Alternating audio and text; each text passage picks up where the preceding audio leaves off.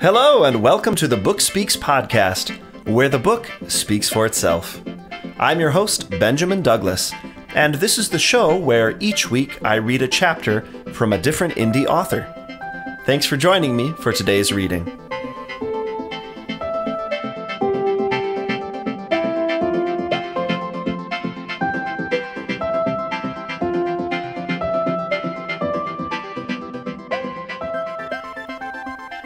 Hi, everybody, and welcome to episode number 13 of the Book Speaks podcast, where the book speaks for itself. Today I'm featuring indie author Elizabeth Ann West, and it's a special episode because the book is not the only thing speaking. Elizabeth is speaking as well. We're instituting a new segment, an author interview. I'm extremely excited. This is my first ever author interview. I'm pretty green. It's pretty obvious. Bear with me. The interview is pretty lengthy because Elizabeth has all kinds of valuable insights um, and some really cool anecdotes. So I really hope you enjoy this. I had a blast speaking with her and recording this interview. I thought it was just a lot of fun. Uh, before we get to that, I want to make a couple of short announcements. The first is that my title, Totaled, a Starship Fairfax prequel story, is now free on Amazon and Barnes & Noble and Smashwords Direct. So if you are into science fiction at all, or if you're just enjoying the show and you want to support me and what I'm doing, you'd be doing me a huge favor if you go and you grab a copy of that to boost it in the rankings. Um, and hey, if you like it, leave me a review. Always looking for that, as all of us are. Um, and the second announcement, I just want to read off some of the authors we have coming up over the next couple of weeks here on the show. Those will be Stella Wilkinson, Adarian Wood, and Alan Peterson. So it's going to be really cool. We've got some um, YA, I guess it's called chick lit, romantic lit.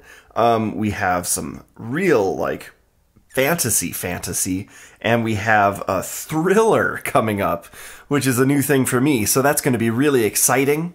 And then stick around because um, mid July, we're going to be doing some more World War II historical fiction. Uh, so that's going to be a lot of fun.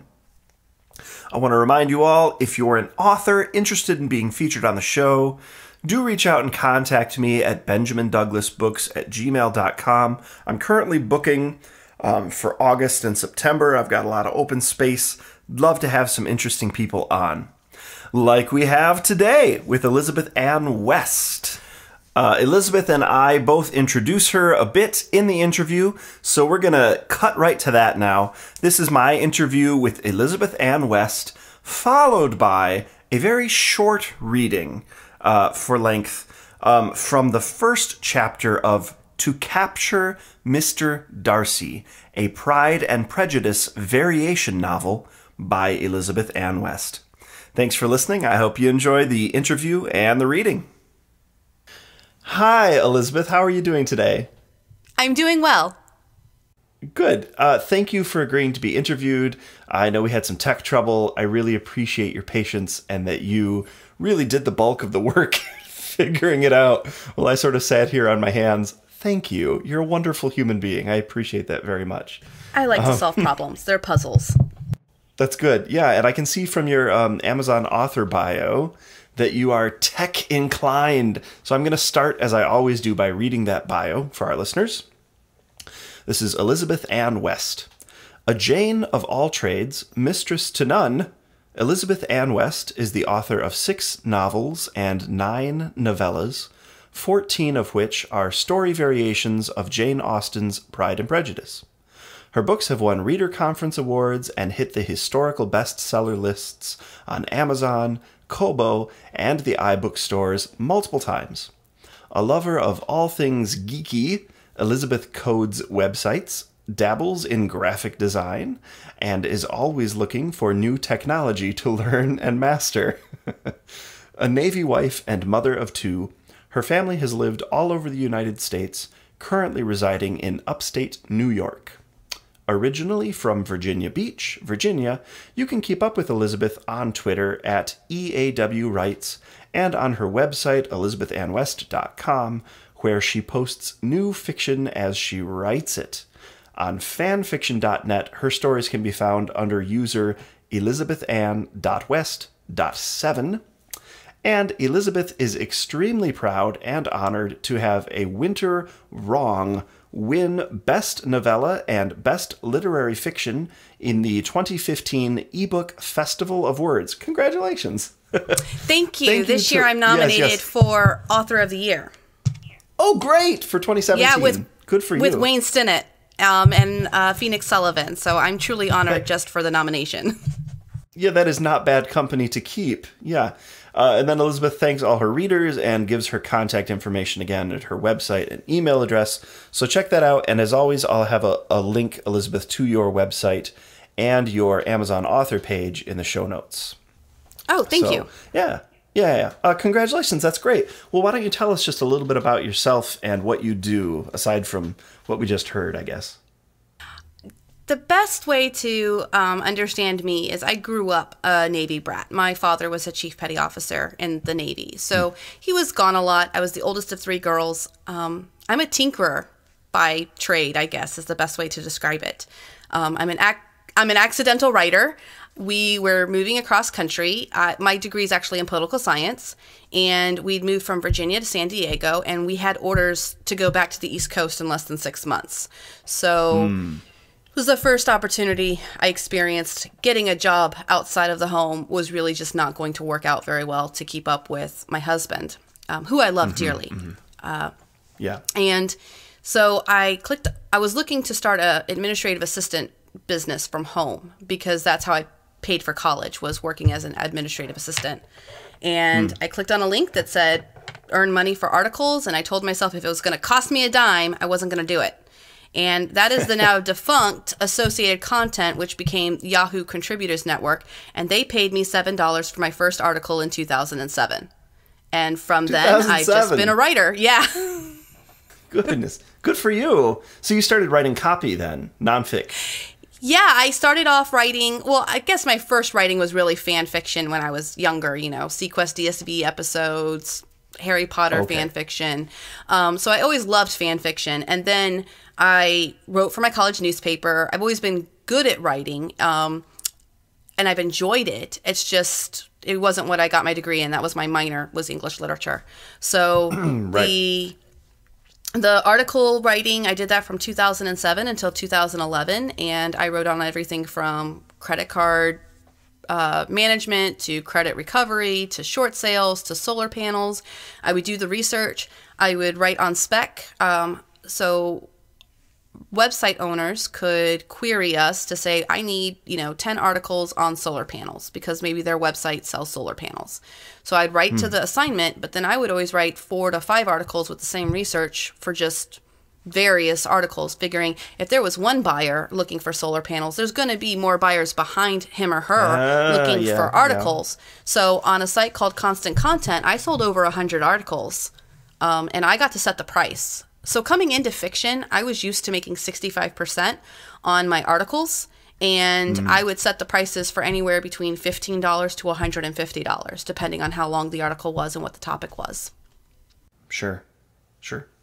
So, um, kind of just um, I didn't prepare to talk about this, but I'm kind of interested now. So, did did you move out of that because you love fiction, or are you still doing that? Did you find I don't want to get too crass and talk about the money unless you want to.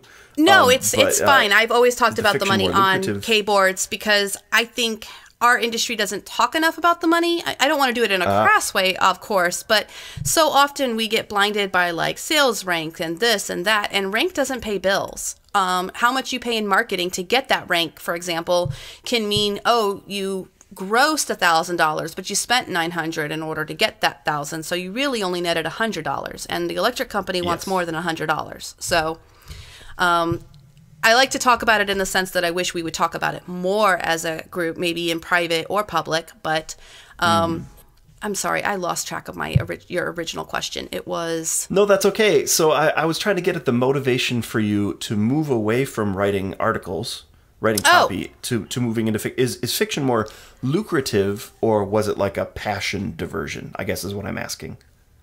At the time, uh, let's see, 2007, uh, 2000. My daughter was born in 2009, um, and I was heavily pregnant, and we were driving down the road, and I was really struggling. I was really kind of tired of writing the same articles over and over and over again. And my husband said, "Well, why don't you write a book?"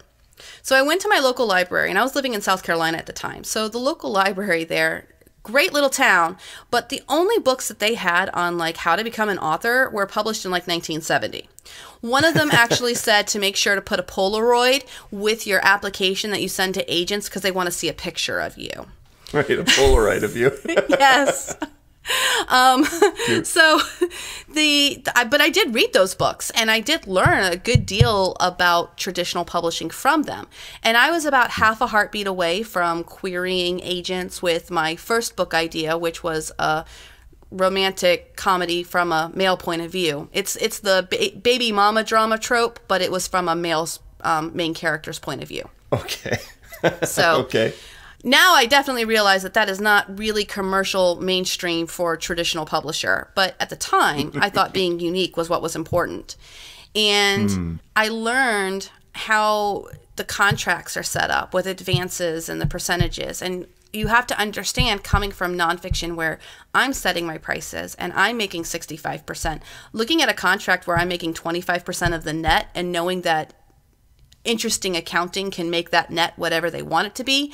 I wasn't Yeah. really looking forward to that. And then I happened to find Joe Konrath's site. This is way early Uh, days. yes. This is 2009, 2010. And Yes, he did yes. a conversation, and I, I I can't remember if it's with um, Barry Eisler or Barry or Barty Crouch uh, or Barry Crouch. Barty Crouch, I think, is in Harry Potter. Barty Crouch. Barry Crouch. Barty Crouch Jr., I think it was. Yeah, Barry Crouch. Anyway, the the title of the article, and you can still find it, is "Be the Monkey, Not the Frog." Whatever you do, do not click on the art. Do not click on the video for that because the video is monkeys use frogs to masturbate in zoos. So that's all I have to tell you for "Be the Monkey, right. Not the Frog." And but their extremely long interview was was very brash and and honest and just you know what was going on in publishing. And i realized i was lucky in the sense that i had already made my own websites. I had already written copy for seo i already mm. knew linux windows mac. I'm, I'm a geek by nature. So i already knew multiple operating systems and things like that. So making the transition to self publishing really wasn't a transition for me at all. S- So it Yeah, was yeah. It, it was more of like a, a step to the side. And I actually formatted ebooks for authors in the early, early days because I understood HTML. And back then you had to hand code it or use Jutoh or Sigil or Calibre. This was long before, you know, Amazon would just take a Word document. Right. You know, it's interesting. There's like a um, there's a trend I'm noticing with with um, some of you who got in. Uh, I call you the Konrath, Konrath generation, because there are there are a few there are a few self published authors such as yourself. Lindsay Buroker talks about J. A. Konrath's blog a lot. Of course, that was like her catalyst moment. I think. Does Joanna Penn talk about it too? Yep. I'm having I trouble mean, at the yeah. the early times, you had Konrath, you had Joanna Penn, you had what's now defunct, which is um, the self-publishing guide or the e- The Round Table, yeah, that's guide. gone. No, no, not the Round Table. But even before the Round Table, um, there was a site that was run by Tanya Caps and um, uh, Dee Dee Scott. That was um, Oh. the guide to self e-publishing or something like that. I can't remember the exact name of the site now. Um, And so there were a couple, but they're gone now. And and some of those authors moved on to TradPub. Tanya Caps was picked up by a publisher. Others, you know, their goals or, or something changed. It, it just depends. In some cases, the market left them behind. Um, it, it it varies. Uh, I published my first book in 2011, September of 2011. I had a bad experience, which we don't have to get into. Um, and I was kind of chewed up and spit out by a big name at the time. And I worked for free, which was stupid of me. But when it came time when the site was actually making money, it was all of a sudden, oh no, I'm not going to pay you anything. So that was really demoralizing. And then I got involved in another project with Scott Nicholson, who is wonderful, but uh, that project just, we kind of learned, you know, as an author, you can only spin so many plates. So that project also closed down. And finally, a good friend of mine that had helped me uh, when I was kind of in my darkest days, April Floyd, she ran a site called thecheap.net which they shared Nook Books and Amazon Books, and they shared indie authors for free in the very early days of oh. indie publishing. And I hooked up with her and I started running author ads for like $5, $10, very cheap. And I ran mm-hmm. the author ad side of the house for three years. So I was a book marketer for three years while I was demoralized okay. and not writing.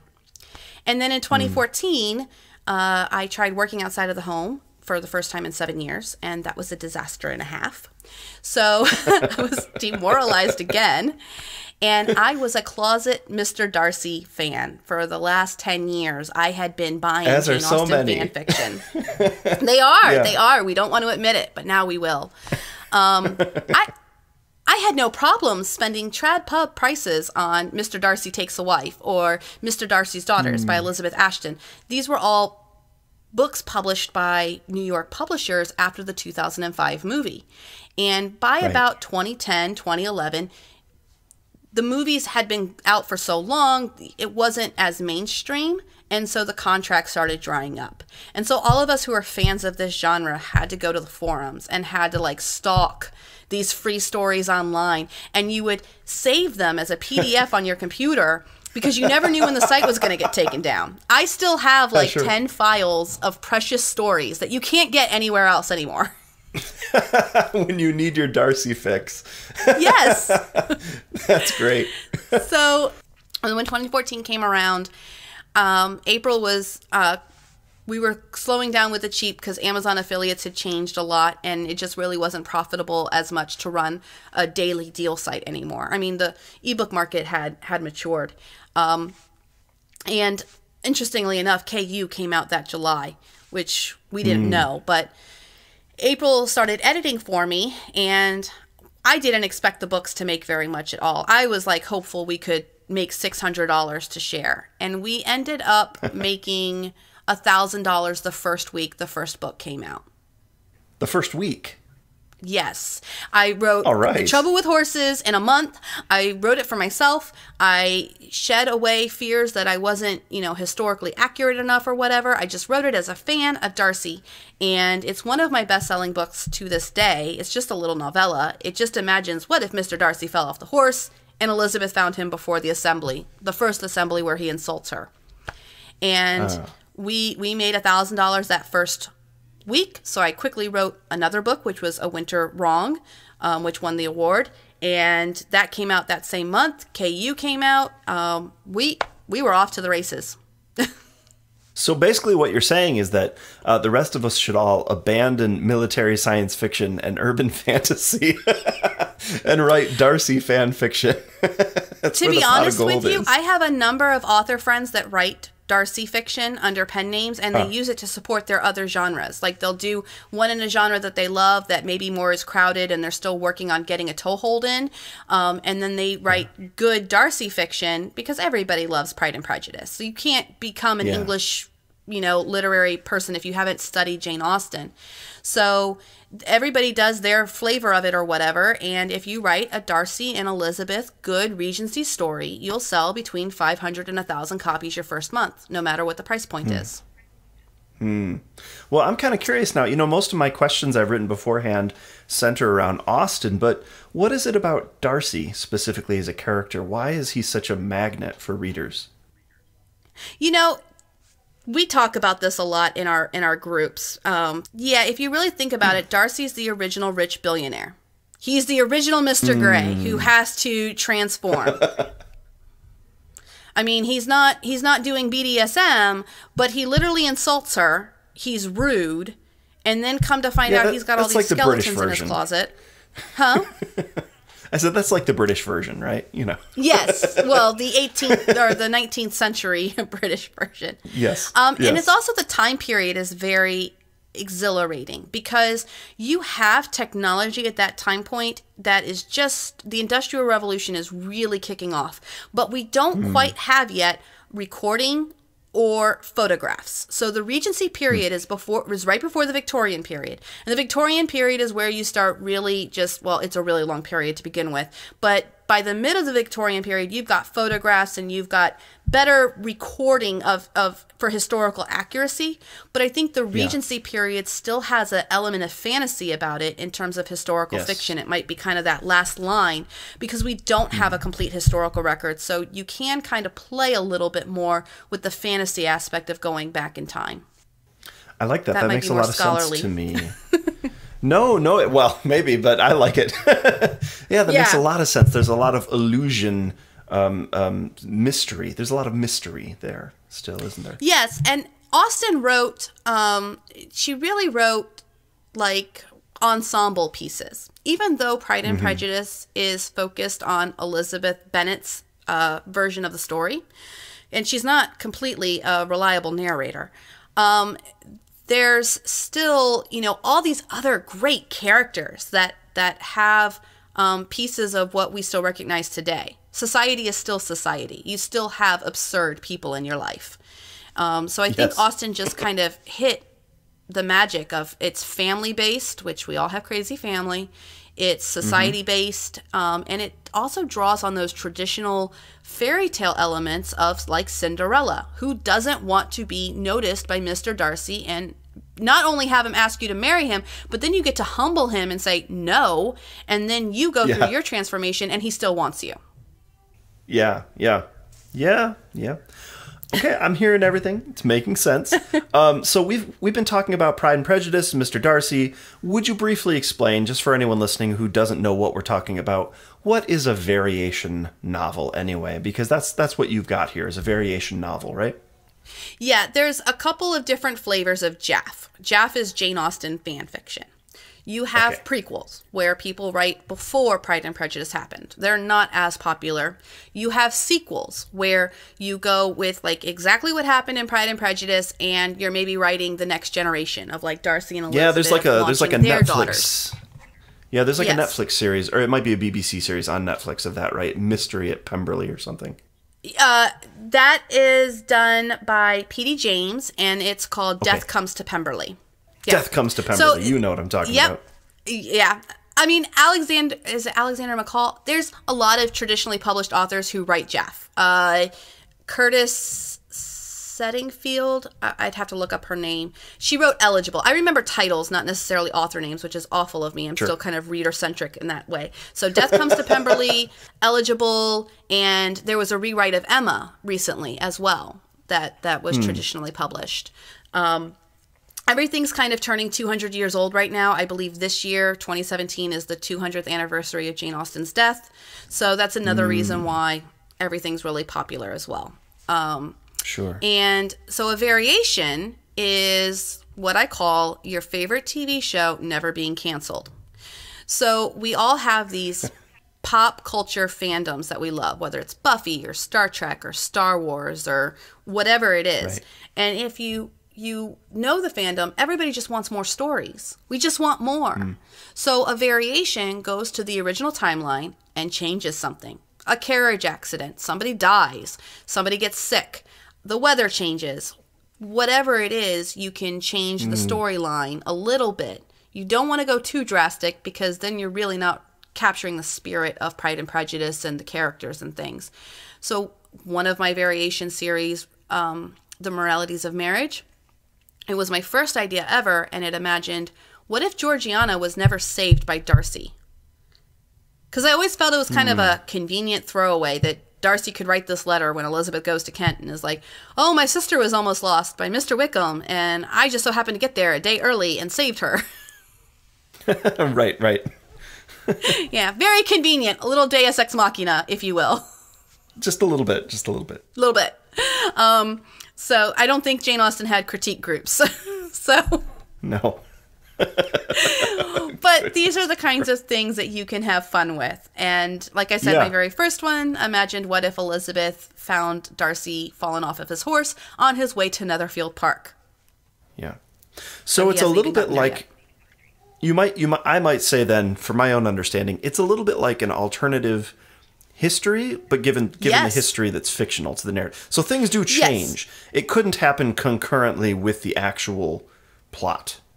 Right, but you do need to keep certain canon elements, enough canon elements that um, people can still recognize the characters in the storyline. Sure. Well, so that sounds very it's almost like putting. Easter eggs. Yeah. Yeah, I can I can see the appeal to that if you if you love Regency or if you love Jane Austen or if you just love Darcy. yeah, I can cert I And can I- certainly see the appeal. I think too, this is also another fantasy uh, for me as a reader. I can't speak for other readers, but I suspect it there there might be some truth to it.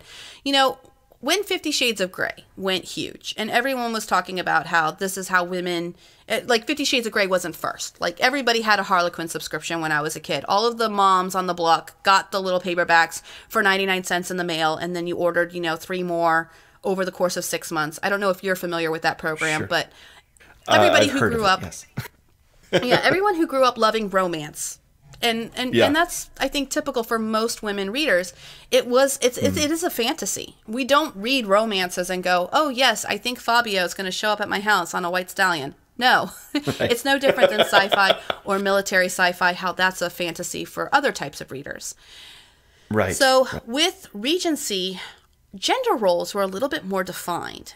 And mm-hmm. I am a feminist. I don't want to go back to where I can't even have a credit card unless my husband signs on it. Nothing like that.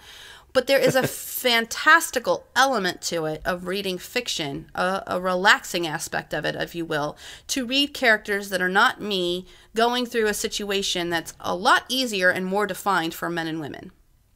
Hmm. yes. Like I get excited when Elizabeth Bennet in a Jaff story is is pregnant and she she realizes she's missed her courses and she's waiting for the quickening. I mean, our our life just doesn't move that slowly anymore. Yeah. Yeah. All right. Well, um, we already touched on this just a little bit when we were talking about Darcy, but I wonder if you could speak to a little bit what your sort of the fan base that you found for these books.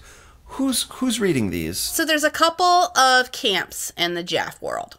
You have the first generation of Jaff readers goes all the way back to the early 1900s. That's when Georgette Heyer is writing her books. Um, and there was also the first uh, Pride and Prejudice variations that were published.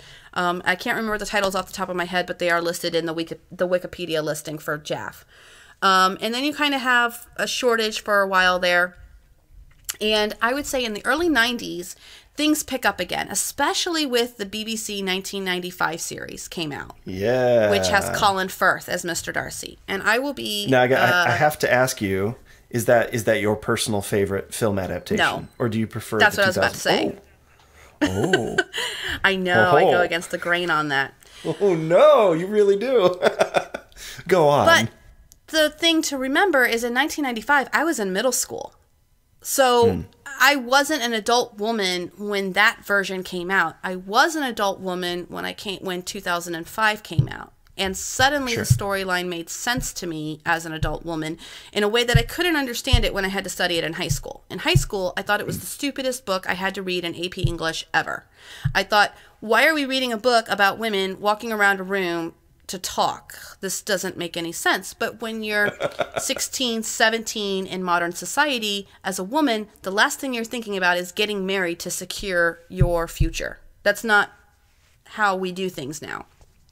Mm-hmm. But as a grown woman, I was able to understand there is a security that comes with who you're dating and who you start a life who's your partner in life. There's there is an underlying security there. So I was able to understand the themes a lot more as a grown up. And hmm. that's when the 2005 movie came out and my personal my my husband is also on the shy side. So he is more like Matthew Macfadyen's Mr. Darcy. Okay. In the sense that he Well, called my house for our first date to ask for Miss Elizabeth. He's from Texas. Um, so see, we actually saw that movie together. It was one of our dates. Oh, okay. Um, and also, I think cinematography wise, the 2005 Hmm. movie makes me want to go into it. I want to step in that screen and I want to be in the English countryside. I think the Hmm. 1995 version is for TV and it's a little bit more claustrophobic. Um, it's more relationship based. I think there was Yes. more romance in the 1995 version than the movie, but it doesn't matter because I want to go with Elizabeth Bennet on those walks in the field. Yes, it's very picturesque. Yes. And we are not going to talk about Okay. the zombie one. No, no, of course not. But or but- or Bridget Jones or any of that. Right. So, well, even Bridget Jones brought more people to the uh, table, and I would say Bridget Jones in the 2005 movie but the same kind of reader, a more contemporary flair, if you will, to their historical fiction. The 1995 uh, fandom typically is a little bit more. Um, traditional. So, in my readership, for example, most of the people who are fans of the 1995 version do not read my series. Series is a big new thing for Jaff. Not many writers do a series. They do standalones. And um, the 2005 people, I think, were more willing to go with a series because they typically are younger as a demographic. They're more my age in their early 30s. Yeah. Um, whereas the 1995 version are are older. They're you know grandkids and and and going to retirement versus um, being actively working and looking for an escape right now from daily life. Hmm, sure. Okay. Well, um, moving toward the end a little bit, I want to ask what's next for you? Are you working on any exciting projects? You mentioned you're nominated for uh, 2017. What is it? The author. What, what are you nominated for? Uh, it is the um, it's the E Festival of Words. Julie Dawson puts Yeah. it on every year. And Yeah. I've I've been on the panel a couple of times. I'm actually on the panels again this year for um, how accurate does historical fiction have to be. It's a completely online reader conference, and it's at the end of August, um, the weekend of the whenever August 24th runs. It's that weekend. It's the 25th and the 26th and the 27th of August. Um, so it's on a forum. Readers win prizes. It's a lot of fun. We play games. We we have our panels, and over the years, it's it's really grown in terms of how many people are involved and things like that. Um, so I was surprisingly nominated for Author of the Year. I did not expect that at all. I don't know who nominated me, but thank you very much. But um, it's uh, it's very touching, and it, it means a lot to me that Julie puts it on every single year. So I do my best to, to give my time um, to support it, or with um, you know prizes and things like that. So okay, book wise, I have book four Yes. of Moralities of Marriage, which is the trappings of marriage. It's currently being posted on fanfiction. It should come out in the month of June, and I'm going to knock on wood because it's supposed to have been coming out every month for like the last three months. It's it's kind of being a beast here. Um, Okay. But that should come out June or July. The audiobook of The Whiskey Wedding will be coming out soon. And Great. also, I am co writing a book with my sister that is a straight sequel, which I've never done a straight sequel yet. So we're doing kind of a sequel of the time between um, they got engaged and when they actually got married. Because Austen kind of jumps to just like that as an epilogue in the original. Yes. So we are crafting a sequel of they are engaged. What happened after that? How did the weddings come about? So it's a lot of fun. Mrs. Bennet is in a lot of fit of nerves, and there's a lot of dress fittings, and it's it's good. It's good fun. Sure. she knows where the best warehouses are. Yes. Yes. Uh, good for you. What, what have you been reading lately? Um, I just devoured uh, Belgravia, which is um, by Julian Fellowes. I'm a big Downton Abbey fan, and I love his writing. Um, And Belgravia actually takes place a little bit. It's late Regency. It's like it's after 1812, so it's after the Napoleonic. It actually starts with the Napoleonic Wars. The first opening scene is the um, the ball that they had on the eve of Waterloo and it follows kind of a family drama, which is what I like to write is family dramas. Um, I kind of take like the inspiration from Downton Abbey, where there's so many characters, because it's a great ensemble piece as well, and then um, Yeah. infuse that inspiration into my uh, my Jaff. So I do often write from the servant's point of view as well in my stories, um, and and include a wider cast than just Elizabeth and Darcy. Sure, sure. Good, good. All right. Um, well, is there anything else you'd like to add or anything you'd like to share with the audience today? I think the biggest thing is as an author, um, analyze your own reading habits and really look at what are the books that you are one clicking so hard you know your credit card's hot. Because if if you're buying those books chances are other people are buying those books and that's a good genre for you to write in because you know the tropes and you mm. know what to be expected. And don't be intimidated if something only has you know a couple hundred or a couple thousand fans. Jaff is never going to be really number one in the kindle store but that doesn't mean it's not a genre that can't make a living for an author that's going to write a couple books a year if that makes sense. Yeah, it, yeah, it, it does. It sounds like it's a niche with like super fans, right? So It, it is a Good place to niche. It's a niche of historical fiction and contemporary fiction because there's also contemporary Jaff. Um, Barbara Mm-hmm. Silkstone writes Mr. Darcy's Dogs and all of her stories. She does have some Regency ones as well, but there's a lot of people who do contemporary tellings as well. Christy Rose has contemporary stuff. April Floyd has both contemporary and Regency. So there's is your you have a contemporary title? Is that is that also uh, um, based on Austen at all, or is that just No, that was my first uh, go around. That was the um, contemporary romance from a male point of view. Oh, that's that's that one. Okay, good for you. yeah, that's that's my debut novel. I should take it down. It doesn't match anything else that I've done, but I just can't do it. I just am like, no, that's the first that's the first baby. Although I don't look at my books as babies. I'm not attached to them like that, but um, it's a good little story, so it can it can still Yep. exist out there. Um, and the other thing for other authors, craft wise, is um, I think anyone can publish, and if you just keep an eye on your bottom line and don't put too many outlays on there at the very beginning, and I'm including editing in that. Um, you Yeah. know, you can use the lean business model. Michael Michael Anderle talks about this a lot too. Um, I'm in Yes, his 20 yes. books to 50k group. I, I'm not saying put. Yeah. I'm not complete. Uh, I don't completely ascribe to everything, you know, because I have found my own way already. I'm not a newbie author, but I appreciate what he's putting out there and helping lots of people with.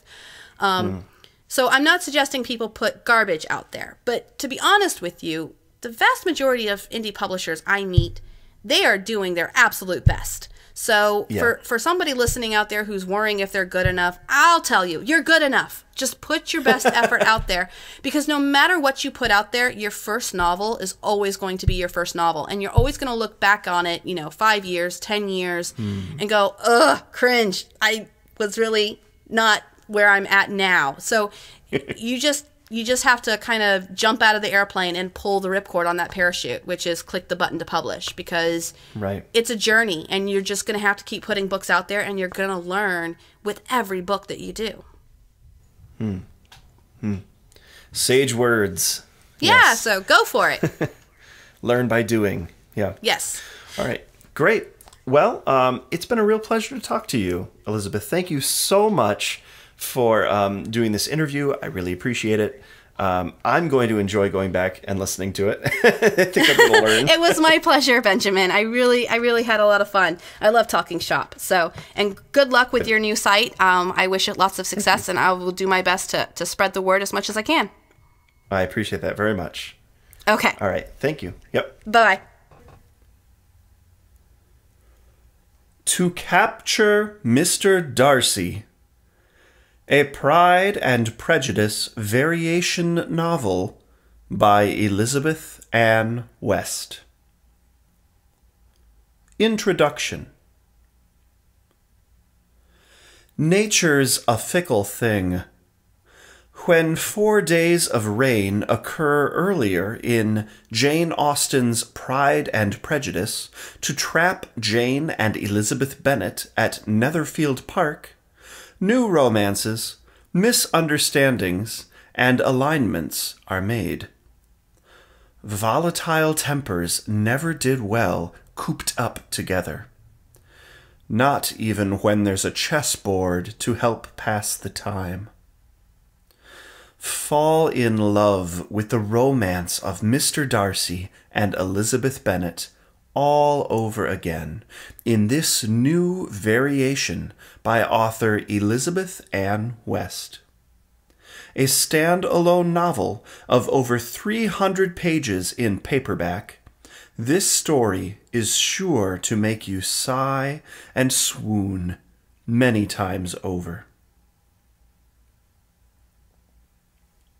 Chapter 1 November 15th, 1811.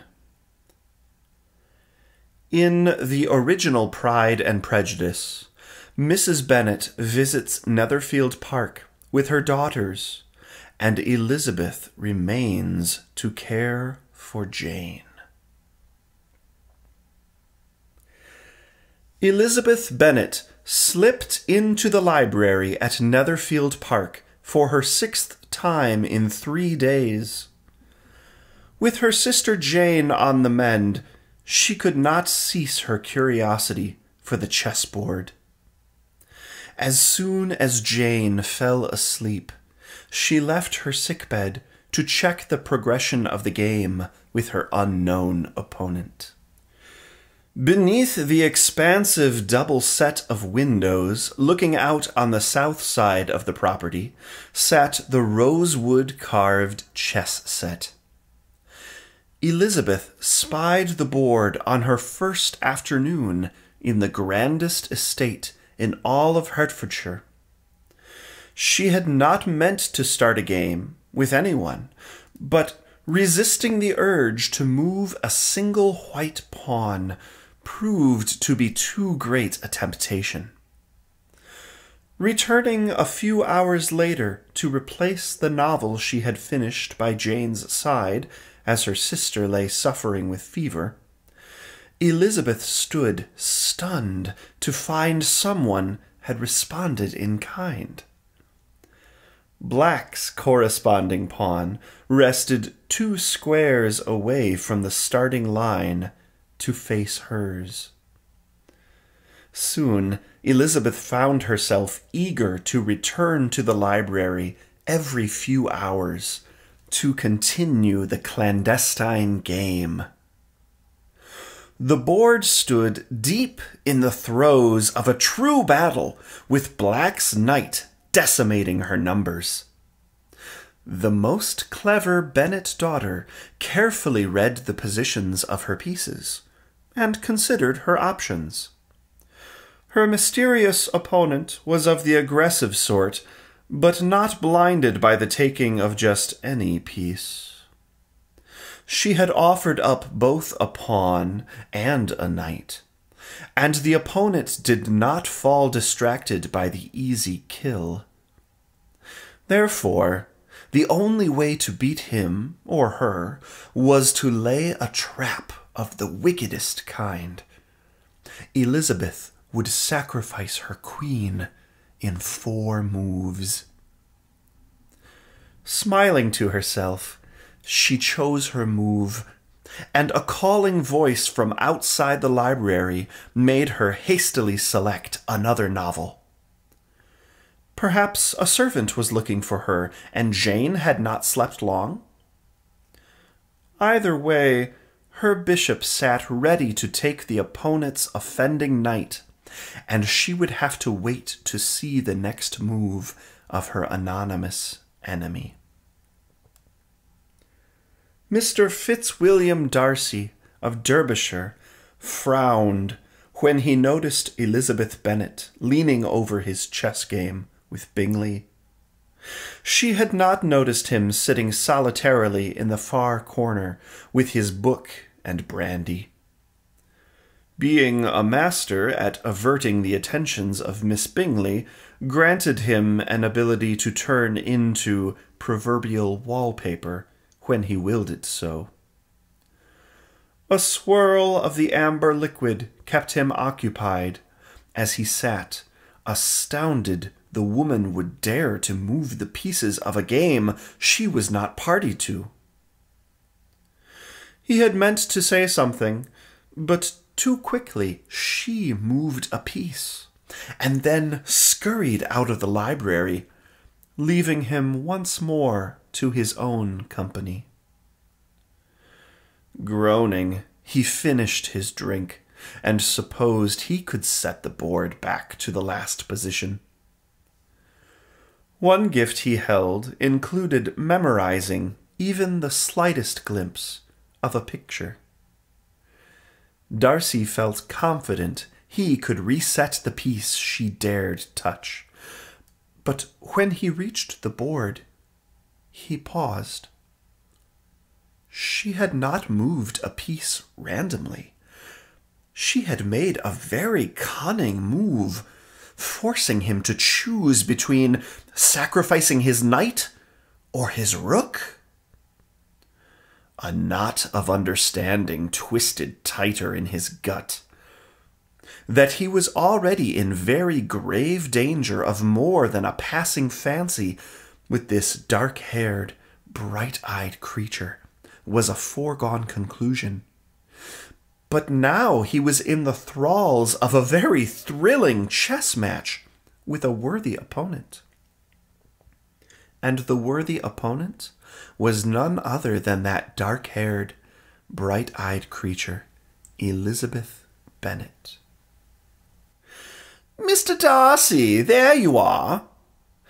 Caroline Bingley entered the library and swiftly attached herself to his arm. Oh, bother, are you and Charles again playing that silly chess game? Upon my honor, I do not see the point in moving little wooden pieces to simulate a battle. Besides, you always win, according to him. Darcy cleared his throat and carefully studied the board.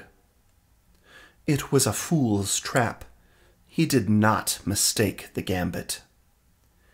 If he sacrificed his rook this early in the game, he would be limited in defensive maneuvers later to protect his king. But his knight was paramount to his plan of attack to put her in checkmate. Her. The concept felt foreign, though surprisingly pleasing to him. Could his future include many delightful afternoons at Pemberley in a challenge of wits?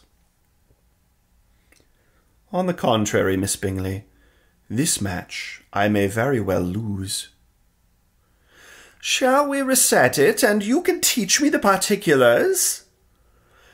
Caroline Bingley batted her eyes most fetchingly, and began to reach for the pieces to take them off the board, but Darcy quickly grabbed her hand. No. Hastily, he released her as he realized she took more meaning in his visceral reaction than he meant.